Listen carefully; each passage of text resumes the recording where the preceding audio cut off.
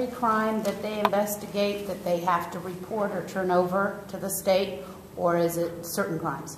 So if you look at current Ohio Public Records law, um, certain investigation, uh, pieces of information, work product as they prepare for prosecution, those are protected. You can't just, and, and you guys know that. Um, what we're talking about is that, um, you know, complaint, that rash of break-ins, that assault. Um, that's a situation where it would prompt a report or an, an incident report of some sort, possibly lead to an arrest. That's the component that this private officer or public officer would both engage in and is subject to every Ohioan's eyes. Now, is this going to be, well, let me clarify this and this may help. Okay. Um, is this going to be a situation where the private police force that's hired to keep the noise down in the dorm goes over there to tell the, the students, hey, you're making too much noise, you got to keep it down. Does that have to be reported? So, Where, where's the line? When you say reporting, nothing's really re- reported, but their, their records are available to the public for scrutiny, okay? So they're not going to be turning everything over to the state for scrutiny, but as the public might request information. This is, this is kind of the gray area. This is what we're trying to separate. What is, when are they acting as a, as a we'll say an agent for the, for the public, as a police officer? When are they working as an employer for their employee to, their employer to just, you know, maintain control uh, of the students? So once it reaches a level of a criminal act and there is an arrest, those are definitely going to be, should be available to the public. Beyond that, um, we need to make sure we're protecting the privacy of the institution or the, the, the, employer. So there's a gray area. We're trying to figure out exactly where that line is. Just to follow up with Representative Henne, um, you know, apply this same scenario to a public university now. Do you read about every noise complaint in, in the paper today? Probably not. Um, this is this is absolutely going to um, look a little different if passed in its current form, in that private officers for universities in particular, they don't just wear that hat of making an arrest or taking a police report. Um, they're serving many functions on that campus, one of which might be, you know, education prevention, addressing small issues with dorms.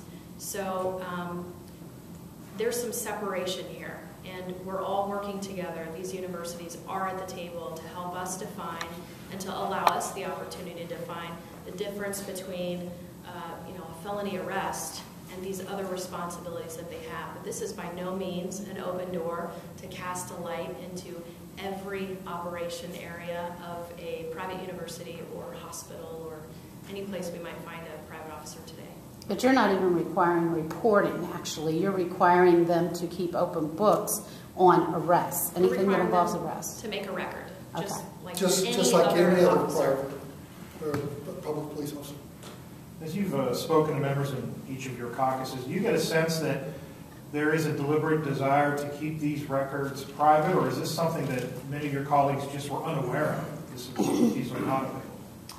Um, I'll speak for my caucus. You can speak for hers. I know we're very concerned about in, intrusion into a private business. Okay, um, got to be very careful to not cross that line. Uh, but I, I, think we all became aware by some recent articles that we read in the paper. Um, I know Representative uh, Patton, Patmon had a, had a, a similar. He had a bill uh, similar, but not quite as broad. But uh, I'm not sure we were all that aware of it before the news, news articles. And I'll, I'll just add that um, I, I, completely agree with Representative Henne.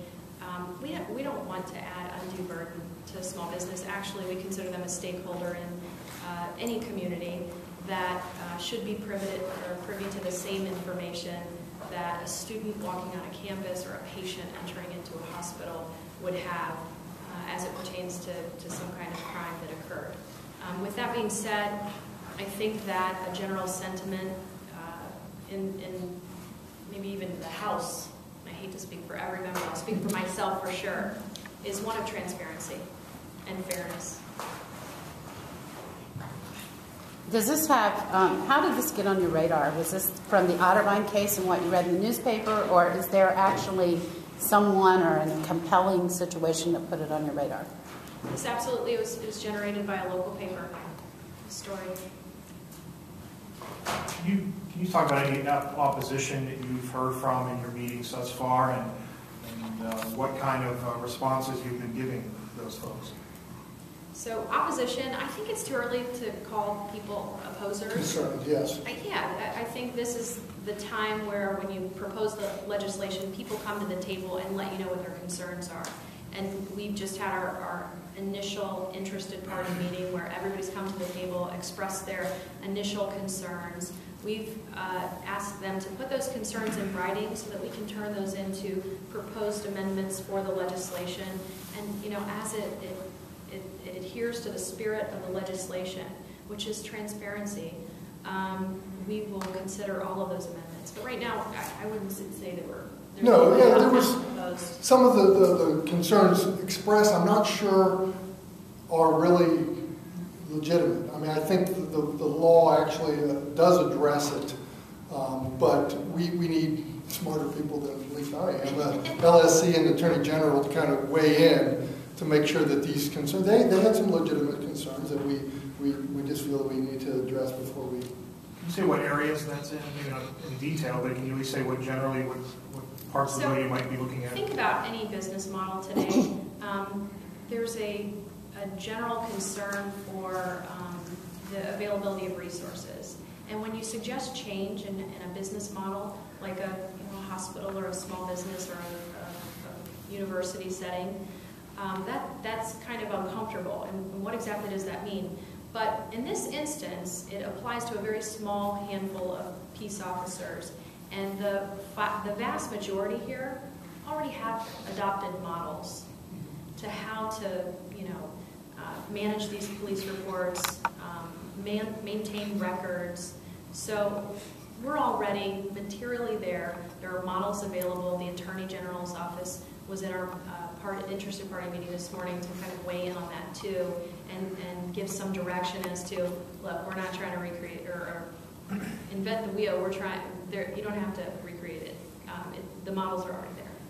Now, if it's a totally private police force, is, does that affect anything in this bill, or is it just uh, affecting those police officers that could be working on public time as well, but they're working on private time for a private company? So we're not, we're not talking about private office or private police forces, security guards and the like. We are talking about 33,000 approximately peace officer trained and certified individuals who have the ability in the state of Ohio to seize your property, you as a person, take a life when necessary. That's the group of people acting on, in, in that in that behalf, that's who we're talking about. Do you think this might have the downside, though, of um, uh, those universities that have private police forces that employ a public off-duty officer in their capacity?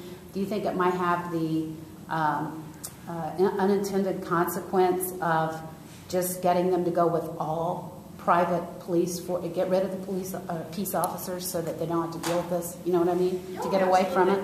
Yeah. Well, one, you know, one thing that interested me is I don't want um, people trying to bypass the law and to keep seek, you know, keep some things that should be public private by hiring private police officers. There are certain things the public should have a right to know. Anytime they're acting, as I try, best description is as an agent of the public by performing those duties of arresting, detaining, um, you know, citizens. Those are what needs to be, to have scrutiny, okay? Uh, Those are what the public needs to, to be able to hold them accountable